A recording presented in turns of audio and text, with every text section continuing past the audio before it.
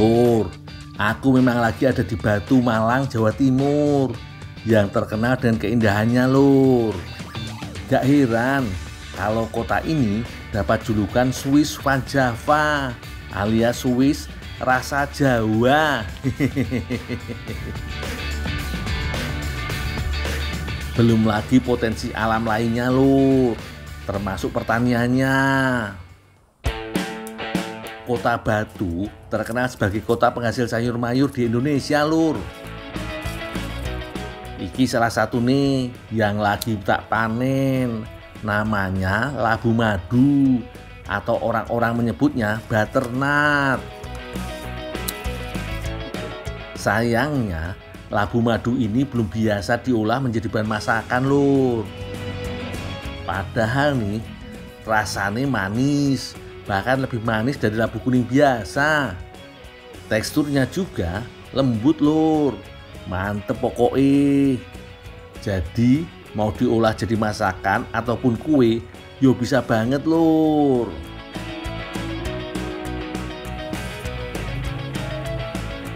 oh iyo labu madu bisa dipanen saat usianya sudah 90 hari Dul Ya, Pak. Dul. Ayo sini dulu Ya Pak, saya ke sana Pak. Ngawur kamu ini Ada apa Pak? Ini nggak boleh diinjek Kalau sampai tanaman patah kita ini rugi 4 bulan harus tanam lagi Maaf Pak, buru-buru Pak. Keburu-keburu boleh tapi kerja yang benar Muter dikit kenapa Ya, saya kira Bapak tadi buru-buru manggil saya Pak. Ya buru-buru boleh tapi kerjanya yang benar Ya ya Pak, ya Pak, ya Pak. Nah taruh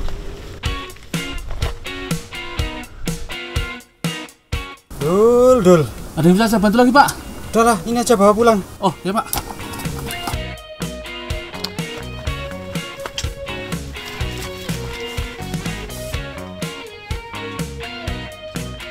Hasil panen labu madu petani di Kecamatan Bumi Maja, Malang ini banyak yo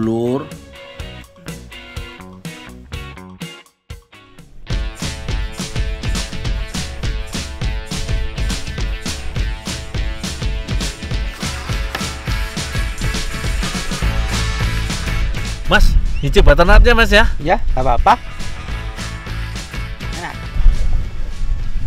Wih,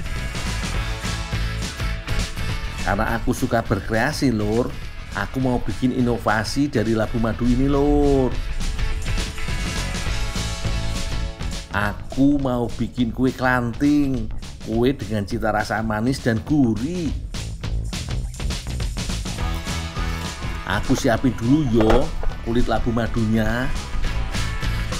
Dul kulitnya kamu tumbuk dulu. Oh, oh, ya Pak.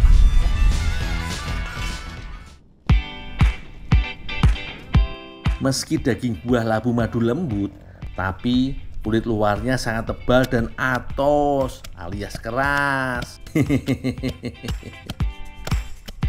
Supaya mudah dicampur dengan bahan kue lainnya, kulit labunya harus ditumbuk dulu lur. Selagi aku menghaluskan kulit labu madu, Mbak Lia membuat adonan kelanting. Ini bukan kelanting yang terbuat dari singkong yang keras itu yo lur. Tapi ini tuh jajanan khas Malang yang lembut mirip seperti cenil. Adonannya terbuat dari tepung kanji, gula, garam, dan air. Sedangkan kelapa tua parut disiapkan sebagai pelengkap menikmati kelanting. Setelah adonan tercampur rata, lanjut masukkan kulit labunya lur. Nah, kalau udah kayak gini, tinggal dimasak aja lur.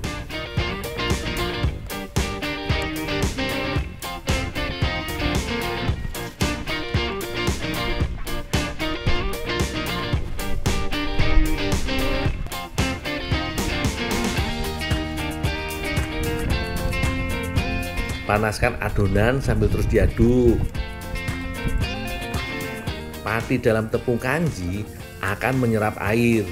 Itu akan membuat adonan jadi kental dan kenyal seperti ini lur. Nah, ini sudah bisa aku angkat lur.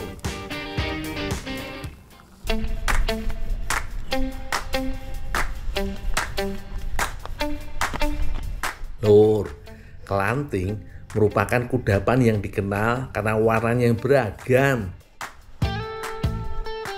Makanya Mbak Lia membagi beberapa adonan untuk diberi pewarna yang beragam.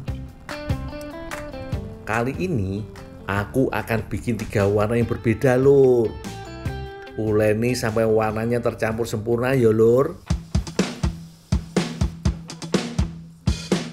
Sekarang tinggal bentuk adonan kelanting dan matangkan dengan cara direbus. Bentuk kelanting di berbagai daerah emang beragam lur. Ada yang bentuknya memanjang, ada juga yang bulat seperti yang dibikin Mbak Lia ini lur. Apa pun bentuknya, sah-sah wae lur.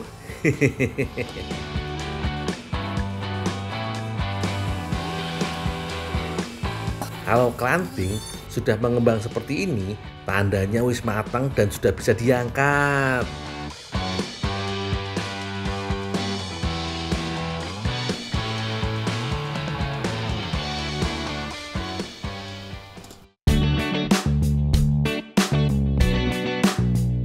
Ini hasilnya lur. Sengaja ditusuk seperti sate biar gampang makannya.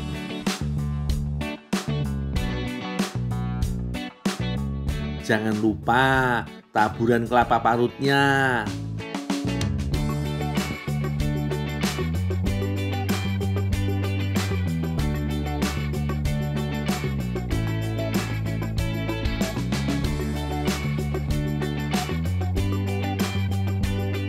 Untuk rasanya, yo jangan ditanya, pasti enak, manis, dan gurih. Jos gandos.